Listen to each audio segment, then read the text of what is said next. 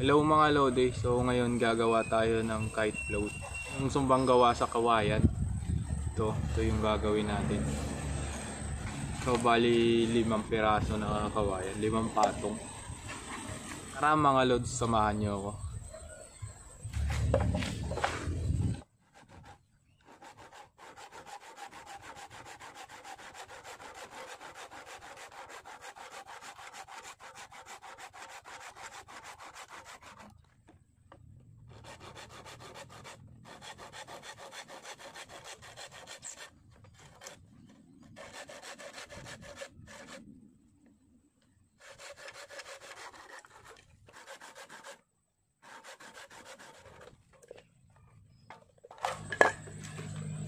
So ayan mga Lodi, nap- naputol na natin. Tatang ang susunod nito ay tatanggalin natin yung balat. Dahan-dahan lang, babalatan natin. Kita ba? Dahan-dahan lang sa pagbabalat mga Lodi.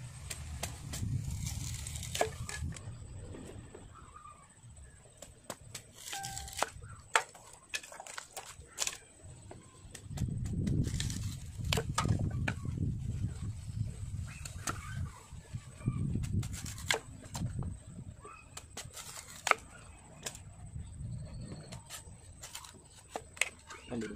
Ayan to, nabalatan na, pero makapal pa din. Dapat man medyo, yung sakto lang yung nipis. Huwag naman yung kanipisan kasi nabiyak.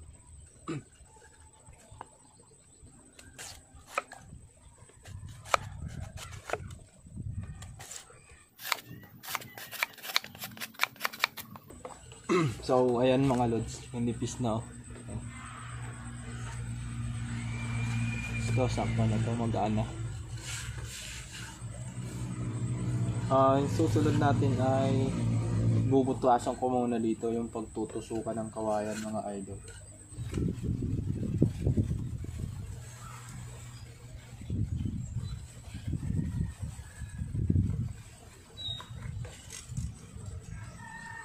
Ayun guys, ito yung pinakagitna niya. Dito tayo mag ito yung tutusukin natin.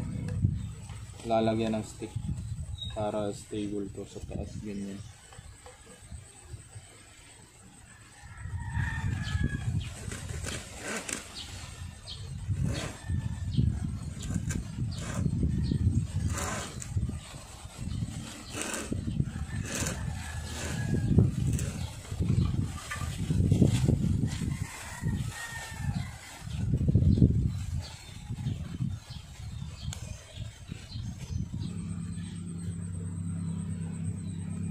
So, ayan guys. May butas na yung paglalagyan ng stick. Bubutasan ko ulit dito. Lalagyan ko lang ng side. Ang katulad nito guys.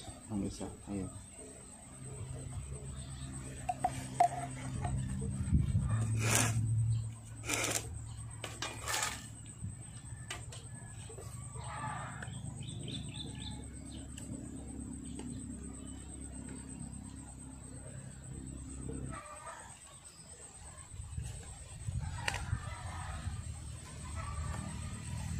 So ayan guys, nabutasan ko na.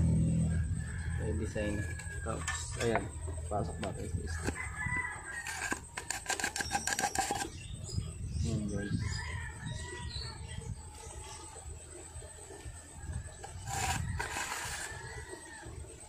Ang isusunod natin dito ay ilalagyan natin ng bali chinilas ang ilalagay ko dyan sa loob sa butas. Ayan guys hanggang dito. Para walang singaw. Kabilaan yan guys.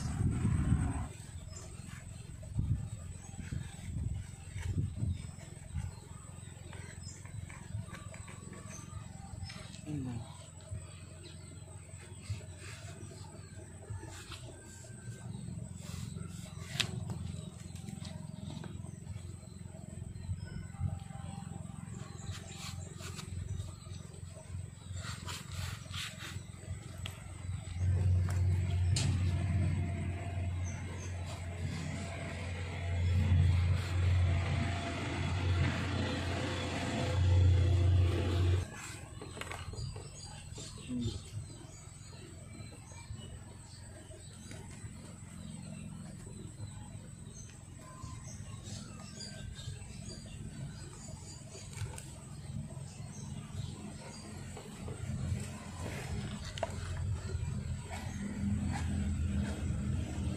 papasok na yan guys.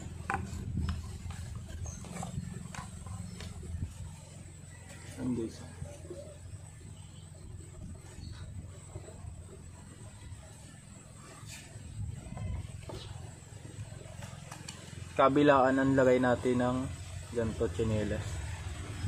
Yung magiging takip niya dito, saka dito, kabilaan para walang singaw. Ito malaki pa.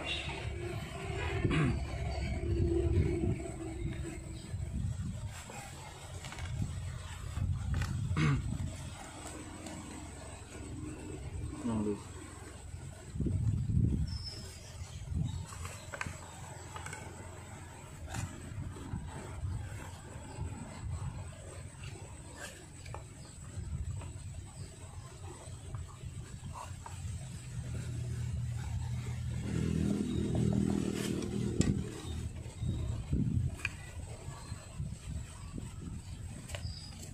Yan guys.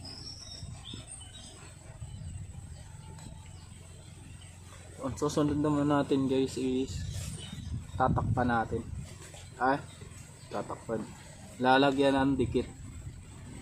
Lalagyan natin dito ng dikit para wala talagang singaw. Yung May singaw guys pag initan.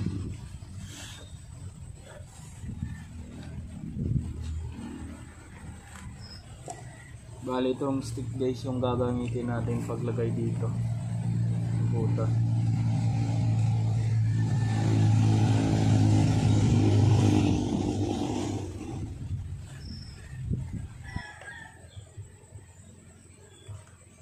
Yan guys. Tapos na. Lalagyan ko din dito guys. Yung dito niya sa may likuran part. Sa may likodan na part ng takip. Dito ko. Ayan guys oh. Ayan yung takip oh. Lalagyan ko din. Para mas sigurado ko talaga na walang singaw.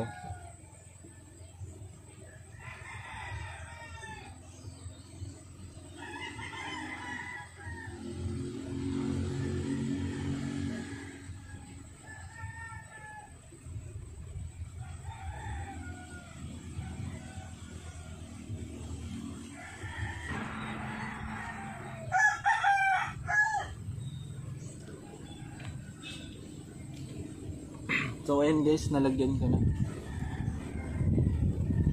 Papatuyuin naman natin to. Bibil, ah, di ko pala to ibibilad guys. Ahayaan ko lang to matuyo sa hangin.